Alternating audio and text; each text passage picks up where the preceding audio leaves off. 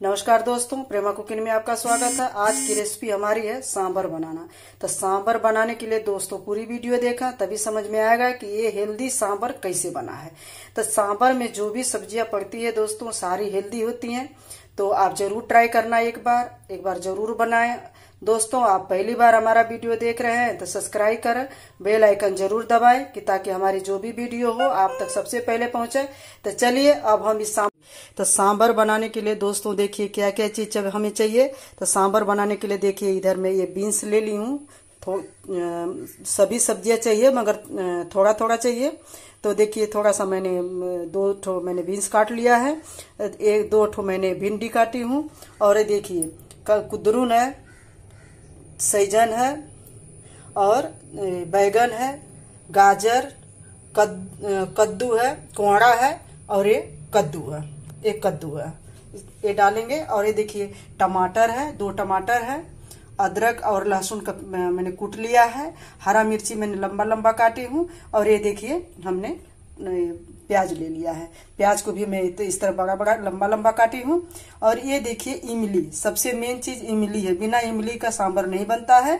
और ये देखिए तुअर दाल है। तो तुअर दाल हमने एक कप लिया है तो एक कप तुअर दाल में हम तीन कप पानी डालेंगे। तो चलिए तुअर दाल को धो लेते हैं, फिर चढ़ाती हूँ ये देखिए, अब हम सबसे पहले कुकर लूँगी, फिर जो दाल मैंने धोया है, इसको मैं धो के डाल दूँगी।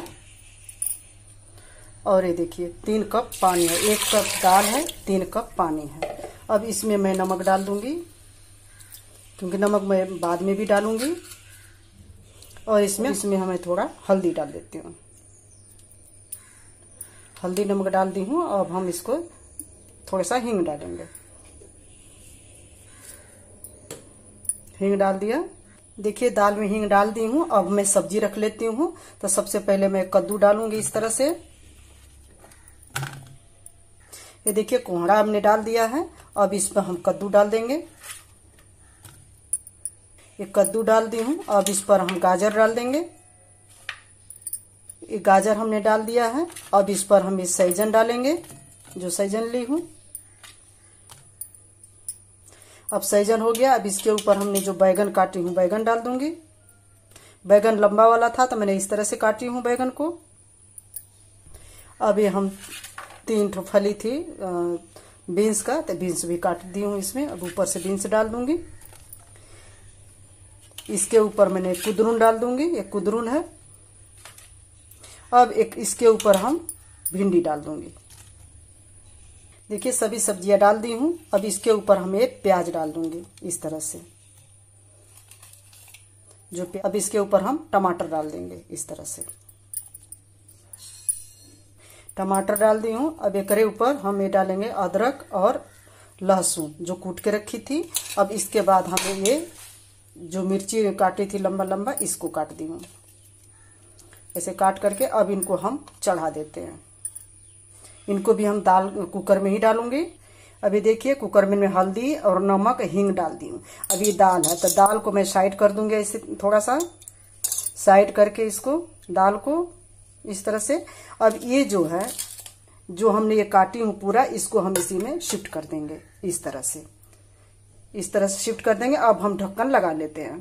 अब हम इसको सब्ज़ी को कुकर में शिफ्ट कर दिया है। अब ढक्कन लगा के एक सीटी, खाली एक सीटी लगा करके सब्ज़ी हम निकाल लेंगे वापस। ये देखिए, दाल भी चढ़ा दिया। इसी में मैंने सब्ज़ी भी डाल दी हूँ कुकर में। अब इसको एक सीटी आने तक मैं वेट करूँगी। एक सीटी के बाद हम इसको निकाल लेंगे सब्ज़ी को। गैस को बंद कर देते हैं। ये सीटी आ गई है। अब हम गैस को बंद कर देते हैं। अब गैस का जो सीटी है अपने आप निकल जाएगी इसके बाद ढक्कन हम खोलेंगे। तो गैस बंद कर देते हैं। ये अपने आप अब हम ढक्कन को खोल के देख लेते हैं। देखिए इस तरह से हमारी सब्ज़ी हुई है इसमें।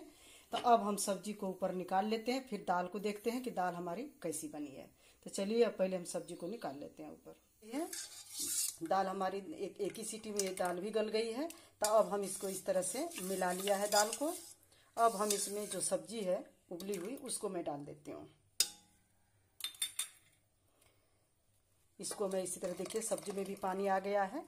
दाल में का पानी पूरा सब्ज़ी में आ गया है। हम इसी तरह पूरे सब्ज़ी को इसमें मिला देंगे। सब्ज़ी हमारी अच्छे से पक गई है ये अब हम जो भी इमली उमली है, अब इसमें डालूँगी।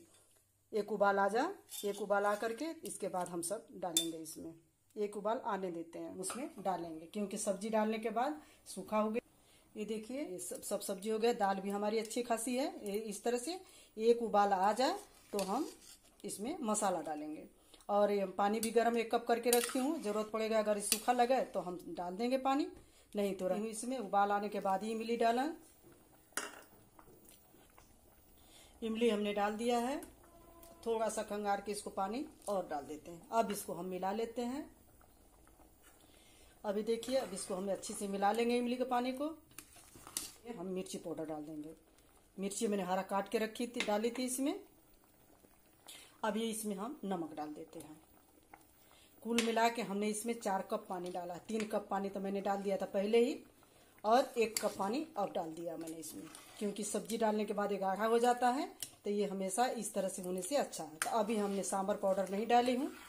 अभी इसी तरह हम इसको पका लेती हूँ थोड़ी देर। इस एक उबाल और आने देती हूँ अच्छे एकदम पक गई है सब्ज़ी। ये देखिए दाल और सब्ज़ी सब मिल गया एक साथ। अब इसमें हम मसाला डाल देते हैं। ये देखिए, हमने सांबर मसाला ली हूँ। सांबर मसाला डेढ़ डेढ़ चम्मच ली हूँ इस तरह से।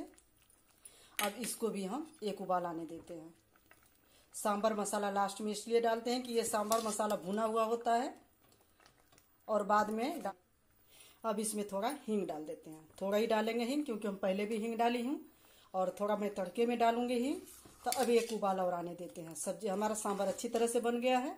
एकदम देखिए कितना सब्ज़ी भी सारी पक गई एकदम से अच्छे से और डाल दे सकते हैं इसको तो दाल अच्छे से नहीं पक पाती है। और अलग से भी बना करके सब्ज़ी और दाल में डाल सकते हैं। इस तरह से भी कई तरह से सांभर बनता है तो आप ज़रूर ट्राई करना एक बार। इस तरह बहुत आसानी से बन जाता है, बर्तन भी ज़्यादा नहीं फंसता है। तो अभी एक उबाल आने देते हैं। अभी देखिए हमारा सांभर अच्छे से तैयार हो गया है। अब हम आपको शव करके दिखा, ध्यान रखिएगा।